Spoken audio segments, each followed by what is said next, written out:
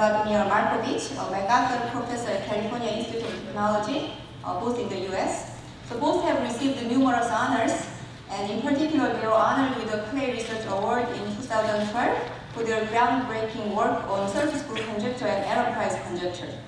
So on the day actually, uh, when their paper on this subject disappeared in the arXiv, I happened to be visiting Curt McMullen at Harvard.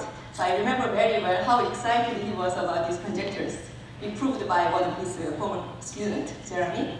So today they'll tell us about this exciting work the surface of, surface of conjecture and Ehrenpreis conjectures.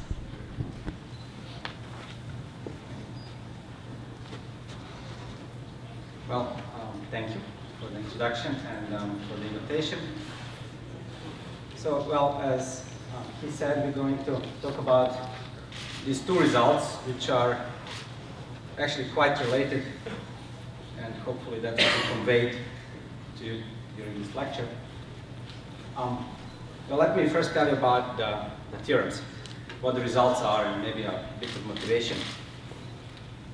Well, first I'll in order to understand what a surface subgroup theorem is, um, let's, let's start talking about the low-dimensional topology.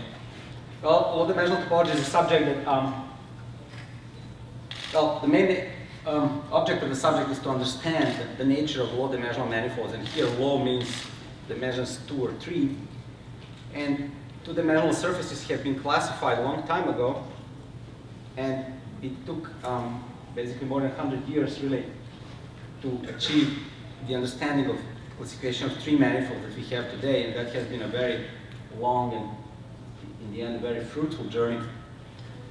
And so the idea, well, the main point, the main approach towards understanding topology of a tree manifold is that you want to have a submanifold of this tree manifold that's, that's a Haken, which means it's incompressible surface inside of a tree manifold those surfaces turn out to, well, the way you can describe them is, is that they're pi 1 injective and also embedded inside of your tree manifold. And then you can cut that tree manifold along this incompressible surface, and then you actually, turns out you can keep going until you cut, cut, cut the manifold out so that you all get are balls. So the point is that, that that's how surfaces are classified because we keep removing simple closed curves until we come to the building blocks, and, and the idea here is somewhat similar. Um, so, the, so such three manifolds that have such surfaces are Haken, and you should think of all manifolds in this talk mainly that they're closed. This is our standing assumption. Um, well, some nice properties of Haken tree manifolds um, included aspherical, and we'll assume that manifolds are aspherical. So we'll fill in the holes. And so Haken, aspherical Haken tree manifolds have universal cover is R3, and um, homotopy equivalence among Haken tree manifolds is essentially is the same as them being homeomorphic. And finally, um, famous theorem of Thurston says that atoroidal Haken tree manifolds are actually hyperbolic, which means that their universal cover um, can be seen as the hyperbolic tree space, and um, they are then obtained from the hyperbolic tree space by acting by isometries of the Poincare tree space. So that, that's more or less the classical theory of, of tree manifolds, say from the 60s. And at that time, well, first it should be said that unfortunately not all three manifolds are Haken, and in some sense, which I'm not going to define, uh, most closed tree manifolds are not Haken. And that, that's somewhat disturbing, except that as a possible avenue, Waldhausen conjectured in the 60s that every aspherical tree manifold should have a finite cover that is Haken. So that if we cannot directly understand the tree manifold itself, maybe we can understand the topology of its cover and basically be happy with that. Um,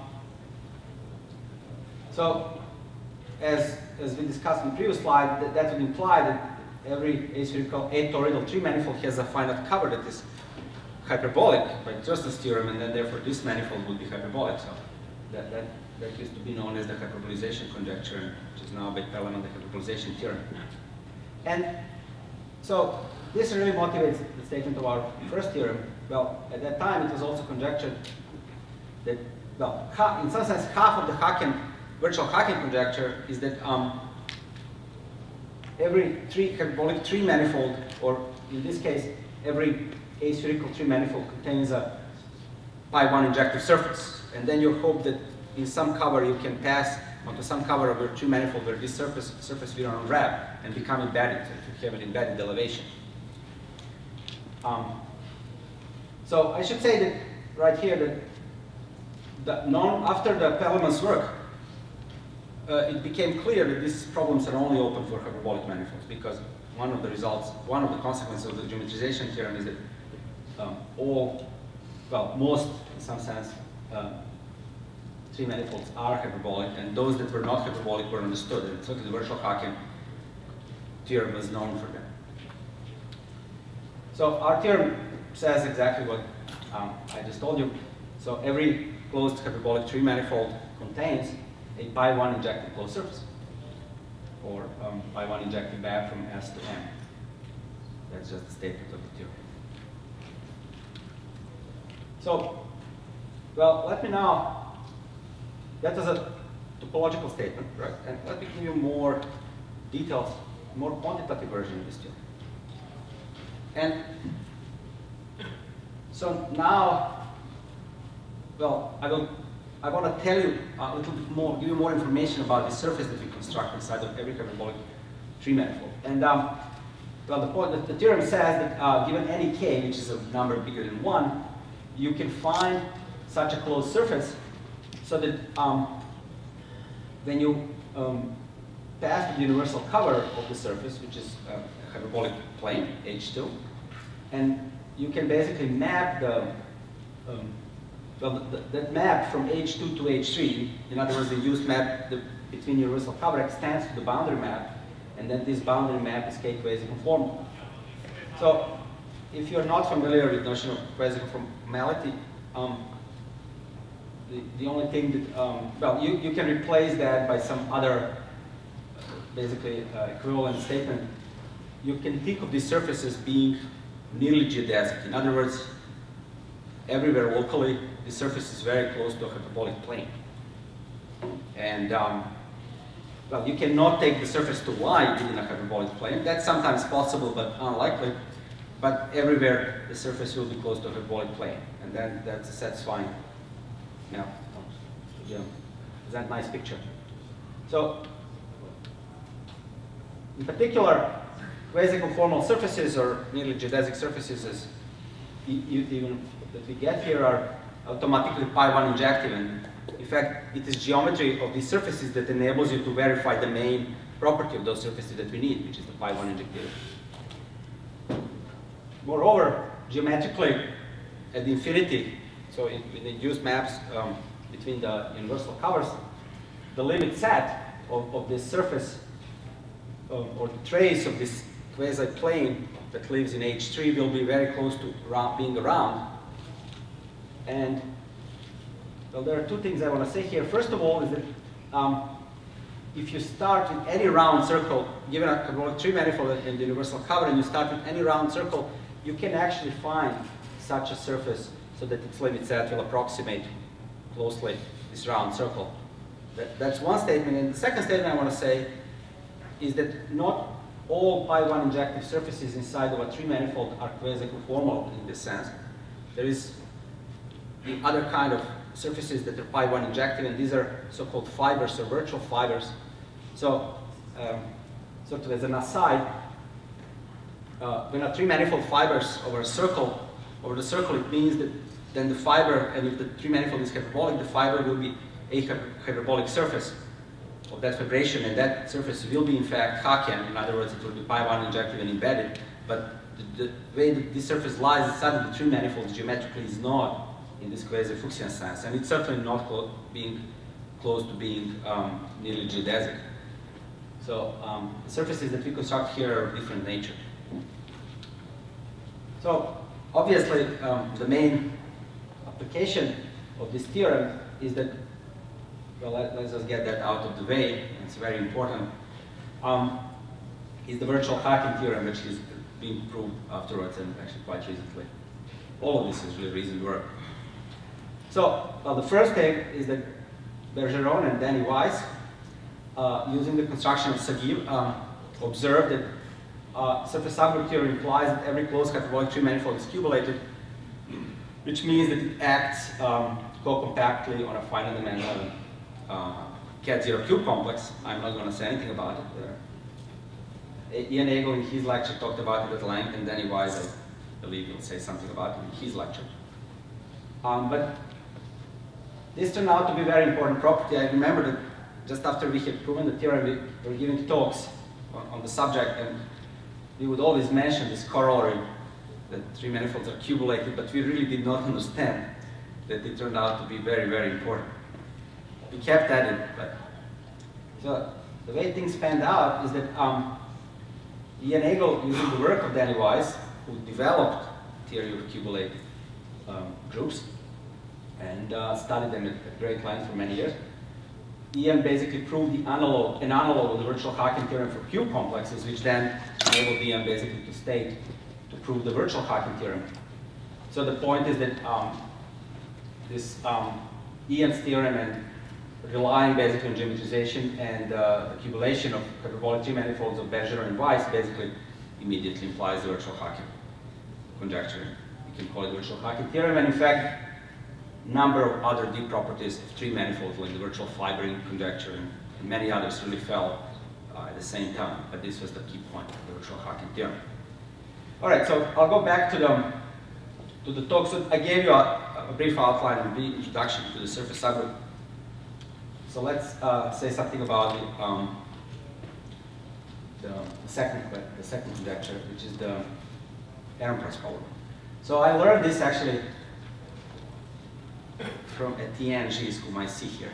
Um, that's, that's actually when I started working on the problem. And he told me that he, he heard from somebody or, or read that actually in his paper on Riemann surfaces, um, Riemann said that, um, observed that the Riemann surfaces, the two, the different Riemann surfaces typically don't have a common cover, but that one may be able to interpolate between them. So that's some kind of translation. So what, what that really means, well, what we made it to mean, or some many people, various mathematicians throughout history, they who were interested in these kind of things, they they said, well, maybe surfaces don't not have a common cover, but maybe they can have covers that will be very close in some sense, in the appropriate way. The next best thing. And um, so the, the Ehrenpreis conjecture, and which we had proven, is, is a statement of descent, and in fact is, is the quite strong statement saying that given two closed hyperbolic Riemann surfaces, we can find finite covers that are closed in the sense that there is a quasi-conformal homeomorphism between them, and we can do that starting with any k, constant k. And if you can replace the word k quasi-conformal by k bi-Lipschitz or some other similar geometric term. So this is the Ehrenpreis conjecture, and now let me state, let me kind of turn the pace and state together the surface subgroup theorem and the Ehrenpreis as, as one theorem. And in fact, the connection between these two theorems and a line of, line of attack, some kind of line of attack that eventually worked, was actually first introduced by Lewis Bowen. He was particularly the one to connect these two, these two problems that don't seem the same, don't seem similar in some sense. Anyhow, the, the joint statement will also reveal a little bit more about how this is proved. So we can, we will define later on the so-called model surfaces SR, which are parameterized by real number R. So these are closed surfaces. And basically, the, the theorem says that uh, given a manifold, which will be of dimension either 2 or 3, and R are sufficiently large, we can find finite cover of the model surface that basically nearly geometrically, um, well, if, if, the target is a tree manifold, then nearly geometrically, ge geodesically immerses inside of your tree manifold, and if the target is the two manifold or surface, that means that this um, the formation of this finite cover, the opacive universal cover, will be K-quasi-conformal. So what is, let's just focus on the Ehrenpreis conjecture. Why is this sufficient for proving the Ehrenpreis conjecture? Is because what this really means is that you start with any surface M, then there is a finite cover of this model surface SR and M that are very close. And then if you have some other surface M, uh, M1, and you observe the same thing between SR and M1, then you can pass to further covers of M and M1 that will be now very close. That's how the Ehrenpreis conjecture follows from this statement. So these model manifolds are, well, we will say in a minute more about them. So how do we, well, this already starting to touch upon these model manifolds and how they are built. So the surfaces, so let's just even think about the three-dimensional case first. Um, how do we build these surfaces inside of our tree manifold? Well, we will start with a collection, finite collection of pairs of pants. Jeremy will tell you more about what formally what pairs of pants are, and for now I will just leave that. I'll just say that these are topologically three-hole spheres, with hyperbolic metric, and when they live inside of a hyperbolic tree manifold, you should think of them as being nearly geodesic. So these pants almost live in the same, in a given hyperbolic plane. And in fact, if you assume that they do, you won't lose much. Um, so let's say that we have some very, very finite collection of pants that are very close to being geodesic, and, or flat in this appropriate sense. And then one thing that we want to that we want out of this collection is that the pants are evenly distributed along every closed geodesic in, uh, that appears as a cuff of any of the pants from our collection, and that would be certainly a finite collection of geodesics in question. And then the idea is that every such geodesic we pair off pants which have that geodesic as a cuff. So we simply pair off, we glue one pants in another pant. And if we can do that, then we already, well, it's very easy to see that we get a closed surface. Now, the way we want to glue the pants is that they're nearly, the bending angle between them when we glue them is very small, so that they basically continue to live in the same hyperbolic plane. That is the idea. We will also add additional, um, well, we want additional, add additional property that we glue them with a twist by one, and the point of that is to distribute the bending error, so that um, if our bending is not perfect, so if our two there is a little error when we glue two pairs of pants in terms of the bending angle, then the twist by one will help us distribute the error and makes the argument work.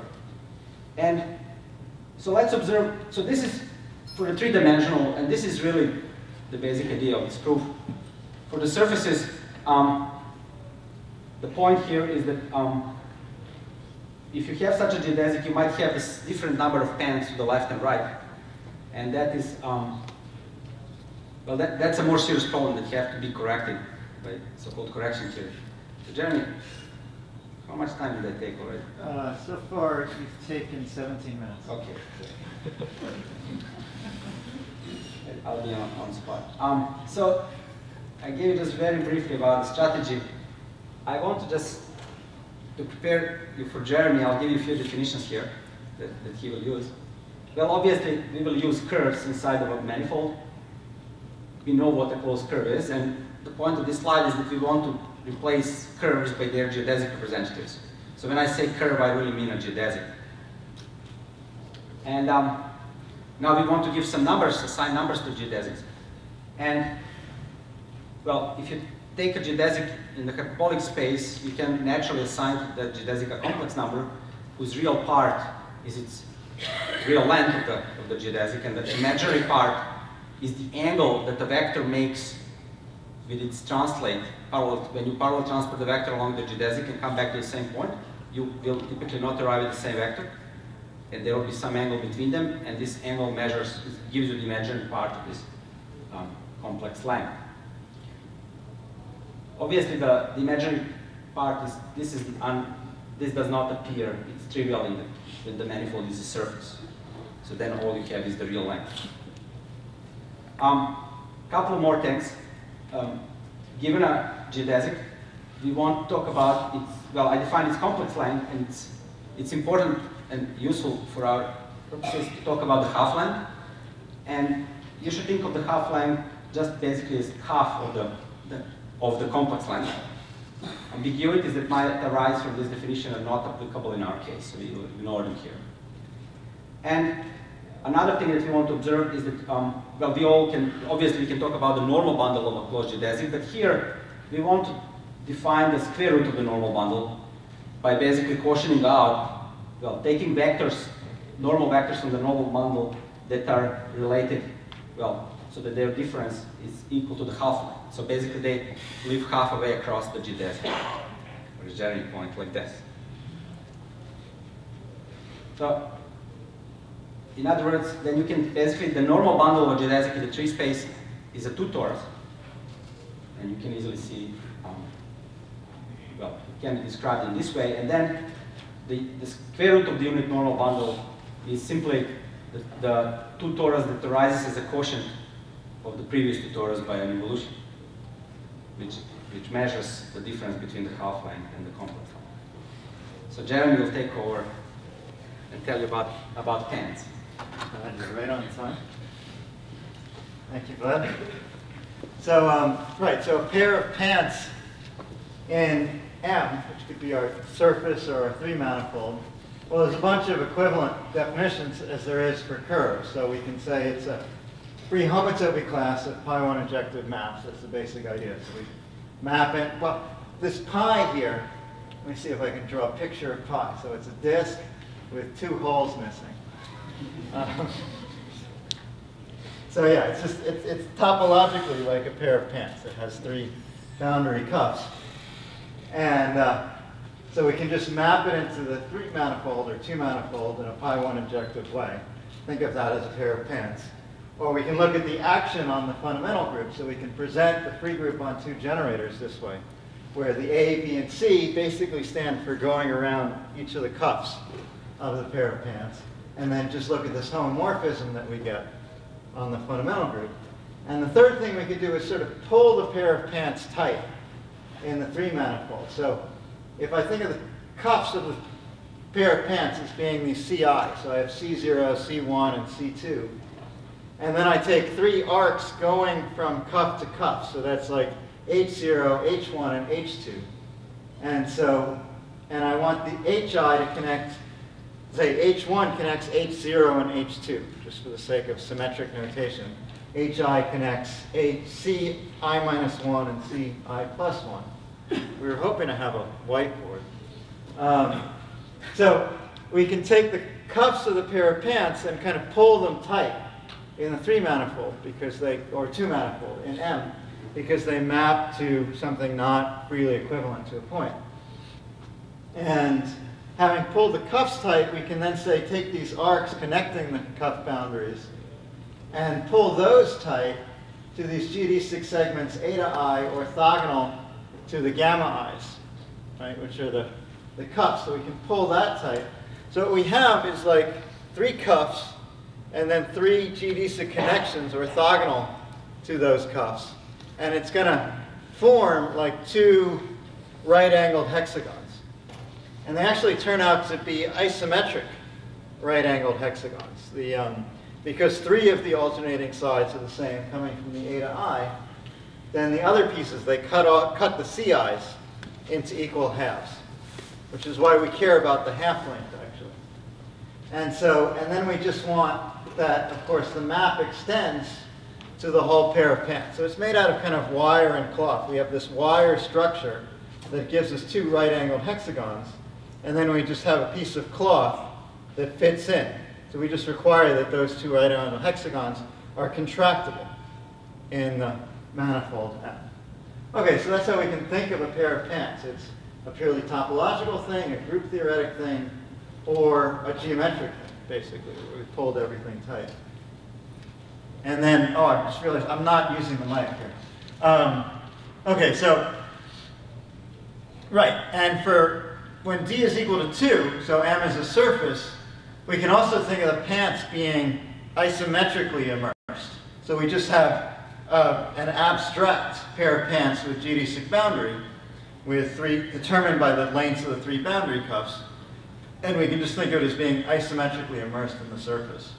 Right? We can't do this in a three manifold, and typically we can't isometrically immerse uh, pairs of pants in a three manifold, but we can always do it in a two manifold. So let's see, for each closed geodesic, Let's see if this works. For each closed geodesic gamma i and the pair of pants, we have these two orthogeodesics, eta i plus or minus 1 to the other boundary curves, right? So we have the big closed geodesic, and then we have the two orthogeodesics coming in. And then at the points where these eta i plus 1 meet gamma i, we get a pair of unit normal vectors. So these, this is the, okay, so we have the horsey dance, then we have the thumb dance or something, the, the pants dance. And we get this pair of unit normal vectors, which um, is pointing along these orthogeodesics, eta i minus 1. And as I said before, it's dividing the cup into two equal halves so that the, um, the difference of these two guys, we can think of this, these two unit normal vectors, they're living in this torus, right, which is the, um, the spaces unit normal vectors. We can take the difference in the torus that lives in here, and it's exactly halfway around from each other. So if you double that difference, you get zero. And now, the, we just say the half length of that geodesic, the, there was an ambiguity that Vlad mentioned, and we said actually, in a pair of pants, if you look at the difference between the feet, that determines the half length of the geodesic. And that's the difference between these two unit normal vectors. And we say the feet, or the sort of the pair of feet of our given pair of pants on that geodesic is equal to this unordered pair of unit normal vectors, right? So that's determined by the pair of pants and the cuff. And that lives in this thing we've defined, which is what I described to you, which is the square root of the unit normal vector. All right, so um, an R epsilon good curve in the manifold is one for which the half length is within epsilon of r. Okay?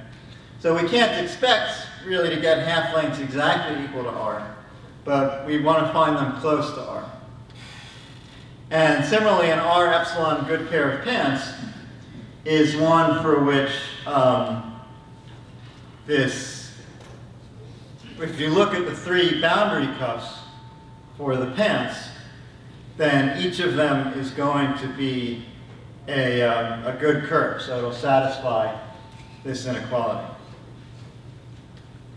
And now, just a matter of notation, we let gamma epsilon r be the set of good curves in the manifold, and we let pi epsilon r be the set of good pants. Okay, so we have our good pants and our good curves, and of course the whole idea of what we're going to do is to take this finite set of good pants, where we have epsilon small and r large, take this finite set of good pants and assemble them together along these good curves to form what we call a good panted surface. So just by way of numbers, when r is large, we have about uh, e to the 2r over r good curves, and we have more good pants because they're really defined by three segments. So we have about e to the 3r good pants. And you can do the division. They're kind of equal numbers of pants per curve. So we have about r e to the r good pants with a given good curve as boundary. All right. So let's try this again. So um, a panted surface in M, well, we can think of it yeah, it's, it's, sort of three pieces of information. We should have a closed hyperbolic surface, S, just our kind of parameterizing the surface. And now we want a maximal set C of distinct disjoint curves on it. So it's going to divide S into pairs of pants. And then we want to map F, just a continuous map, F from S to M. And all we're going to require for the moment is that this map is pi 1 injective for every component of the complement of the set of curves. So the curves divide the surface into pairs of pants. We just want our map from S into the manifold to be pi 1 injective. And now, given such a panted surface in M, so we take any gamma in our set of closed curves. And of course, that's mapping to some free homotopy class of the manifold. We can pull it tight to be a geodesic. And then we have two pants, say pi L, pi R, to the right and the left of gamma. And we want to define our shear coordinate. So here, really, I'm defining the shear coordinate in a three manifold. If I was defining a shear coordinate in a two manifold, then I would leave out this 2 pi iz. Okay, so this is our definition of the three manifold. So recall that I have these feet. I have the pair of feet uh, for one pair of pants. I have the pair of feet for the other pair of pants. These two feet live in this unit normal bundle, which is parameterized by this torus. So if the two feet were exactly sticking opposite from each other, right, then the difference between them would be pi i, because one would be all the way around from the other. So we take the difference of the feet minus pi i, and we let that be our shear coordinate. And that again lives, well, in this torus, seam on the half length of z with 2 pi z. It lives in this torus, which is parameterizing our unit normal bundle. So that's my time plan. All right. So, um, so now I can define an R epsilon good panted surface. It's a good panted surface if all the cuffs have half length with an epsilon of R. So it should be made, in other words, out of good pants. And then the second condition is that the, um, the shear coordinates, and this is where we said we twist by one. So if we did not twist by one, we'd have all the, these pants have large cuffs, so they come very close together. The cuffs come very close together. And if we didn't twist by one, then the place where the cuffs are coming close together would all kind of line up. And we'd have exponentially many of these kind of pinching places in a unit length. So that we'd have exponentially many bends adding up in a unit length. And by twisting by one, by sort of pushing the place where they come closest, sort of along uh, the geodesic, we sort of distribute the bending in this way. And so that's why we want our shear coordinates to be with an epsilon over r, not of 0, but of 1. Okay, and that's what we call a good panted surface in the three manifold. And again, if, this, if D is 2, then what we've made is an immersed panted surface in our given surface. So we could just think of that as a cover, and it's just a kind of panted surface. And then we're just saying we're controlling the lengths of this geodesics, and we're controlling these shears. Okay? In a three manifold, it's a little more subtle. We're looking at what we're actually doing in the three manifold. And then our theorem is that every good panted surface is pi 1 injective. So if we can get our immersed good panted surface in our two or three manifold, well, that tells us that we win in the three-dimensional case. And in fact, we get this better statement that we can have this map of our parametrizing surface made out of our good pairs of pants. We map it to H2 or 3, and then we lift, well, we, we map it to our 3 manifold or 2 manifold. We lift it to H2 or H3, and then we look at its map on the boundary, and that's going to be 1 plus a constant times epsilon quasi-symmetric. Have 10 minutes left. Wow. Okay. So, um, so that's what gives us the Ehrenpreis. It says that our, our map from our good panted surface to our given surface is, well, to the lift, when we lift it all up, we get something that's nearly quasi-conformal. Okay, so, um, so uh, we want to, how do we get these good panted surfaces? Well, we take all of our good pants and we look at the feet of all of our good pants. That lives in the square root of the normal bundle.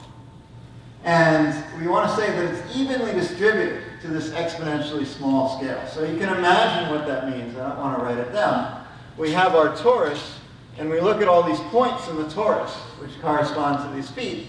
And we just look at like little squares of this exponentially small size, and we just count how many feet we have. In each of these squares, and we say that the number of feet we have in any two squares, the ratio should be this close to 1. Okay, so they're very much evenly distributed.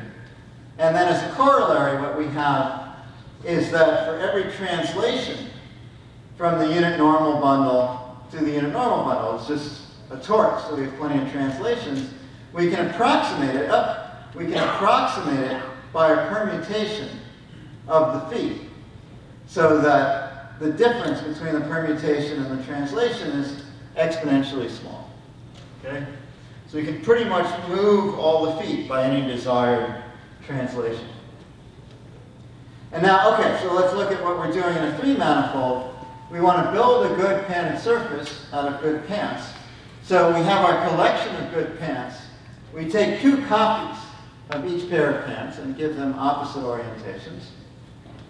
And then we take a permutation, remember we can do this, we take a permutation from the feet to itself, such that the um, permutation closely approximates um, translation by 1 plus i pi, right? Because our official shear coordinates, we have to subtract off this i pi. So this is the same basically as saying we want shears by 1. Now, if we orient gamma, if we have an oriented pair of pants, we call it gamma positive if it induces that orientation of gamma, and we call it gamma negative if it induces the opposite orientation. And so we compare the gamma positive pair of pants with the foot n with a gamma negative pair of pants with foot sigma n. And then we do this for all of our geodesics, and we've obtained a good closed panted surface in M. And in fact, we've obtained an oriented good closed panted surface in M. So that finishes the story for a three manifold.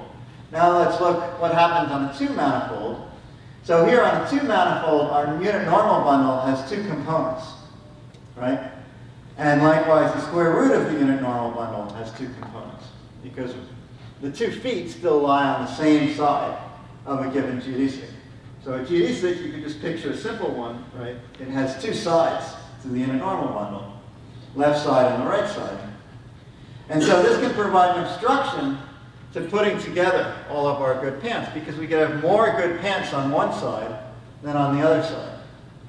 So we let Q, gamma epsilon r, be rational sums of good curves and we'll take a geodesic, and if we reverse the orientation of the geodesic, that's the same as negating it.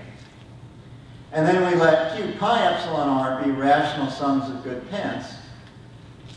And then we define this boundary operator from good pants to good curves. It's pretty much the obvious thing. We have a pair of pants with three boundary curves. The orientation of the, well, the pants is oriented, it's on a surface, so we get three oriented boundary curves. And, right, oriented so that the pants is on the left of each one. And that's our boundary.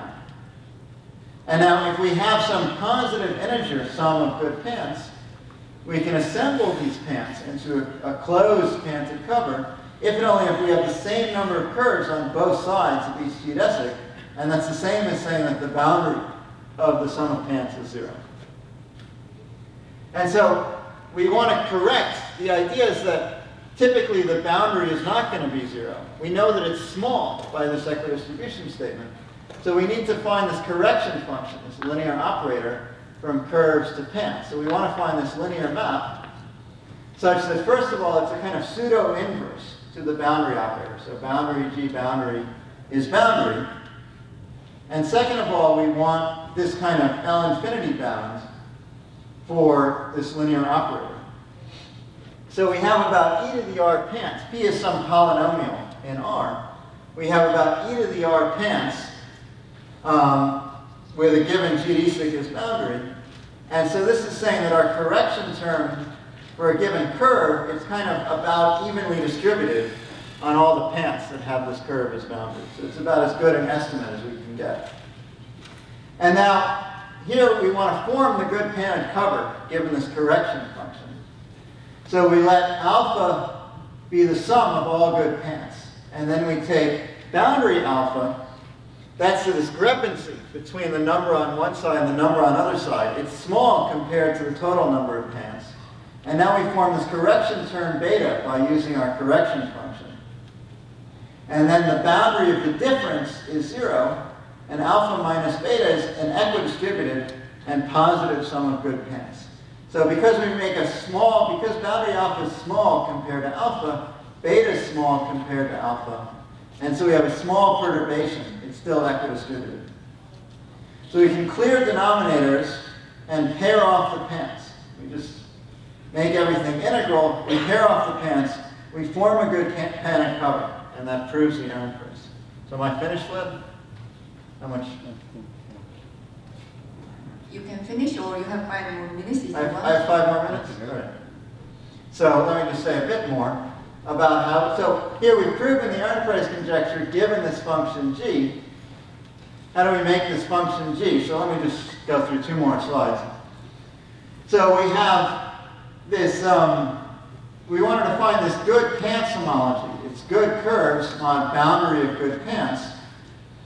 So we have this natural map from a good curve is certainly a cycle. And the boundary of a good pants is certainly a boundary. So we have a natural map from the good pants homology to the singular homology. And we want to show that if something's zero in singular homology, if a sum of good curves is zero in singular homology, it's actually the boundary of a sum of good pants. So we prove this by a series of identities in the good pants homology. And then each identity, well, it's some, we can write it in this form, and of course, to say that something's zero in good pants homology, it just means it's the boundary of some sum of good pants. So really, when you prove an identity, you're creating a witness. If you look at your proof carefully, you're creating a witness, and you're saying that something is the boundary of something else, which is a sum of good pants. And each of these GI functions, it's actually defined in terms of the previous functions, because an identity is proven in terms of the previous identities. And then our final function g is basically going to give us this pseudo-inverse. You know, our final identity is if something's zero in singular homology, then we get this, um, this, if something's zero in singular homology, then it's the, it's zero in good pants homology, and therefore it's the boundary of some sum of good pants, and that gives us our pseudo-inverse And then each time we sort of figure out what these functions are and define it in terms of previous functions, we have estimates on the norms of these functions to get an estimate on the norm of G. And maybe one more slide just to say, how do we prove this good pants homology? So we take a base point for our surface, we look at the elements of the fundamental group that have length at most r, and then we have an encoding of the other elements of the fundamental group in terms of elements of the good pants homology. And it satisfies the encoding of the product is the sum of the encodings. If we have any good curve, if we write it as a product of generators, it turns out to be equivalent in good pants homology to the sum of encodings of the generators. And that's enough basically to prove that the good pants homology is a singular homology. And just, uh, right. And so one last slide here. Uh, we can do the same thing in three, di three dimensions. We can realize, Liu and Markovic showed that if you have any zero homologous curve, it bounds a nearly geodesic and pi 1 injective surface, basically using good pants homology in three dimensions.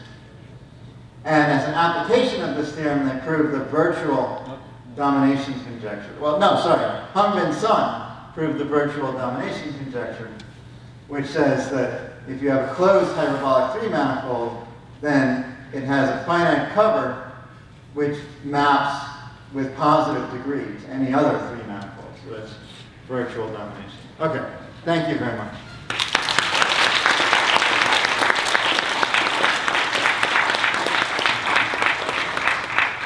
Any questions?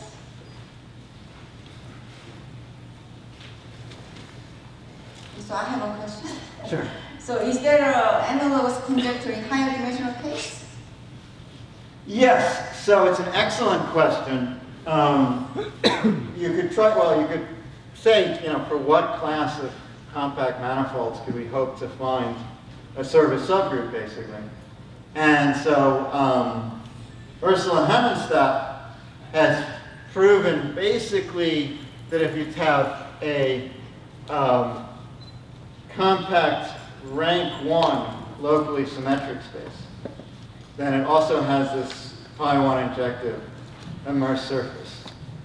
Um, there's some technical issues which I'm working with her on, but essentially she proved this theorem, and we could have even further conjectures.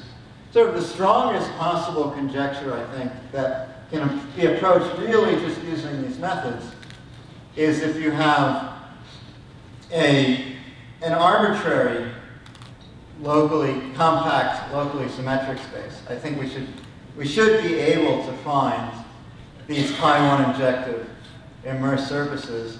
And we should be able to basically say that whenever you have like a system of hyperbolic planes immersed in this rank 1 locally symmetric space, that we should be able to find a surface that kind of stays close to those planes. You know, yes? So, so what is the reason that you're looking for surface group instead of fundamental group of a higher dimensional Hepburn manifold? The reason is that we believe that we can find them. right? But- Our methods are to find surfaces. And of course, it would be wonderful, like if we had a closed hyperbolic 4 manifold, we'd love to find immersed hyperbolic 3 manifolds or immersed 3 manifolds, period. But it's just much, much harder to do that. Yeah. More questions? So if not, let's thank both speakers for the wonderful lecture.